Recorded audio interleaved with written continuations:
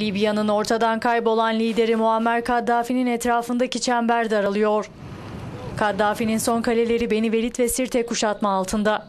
Libyalı muhaliflerin Kaddafi'ye bağlı güçlere Beni Velid için tanıdığı sürede yarın sona eriyor. Bu arada Kaddafi yanlılarının bulunduğu Beni Velid ve Sirte kentleri dışında şiddetli çatışmalar yaşanmaya başladı. Görgü tanıkları Beni Velid'in kuzeyiyle Kaddafi'nin doğum yeri Sirte kentinin doğusundan muhaliflerin mevzilerine düzenli olarak grad füzesi fırlatıldığını belirtti.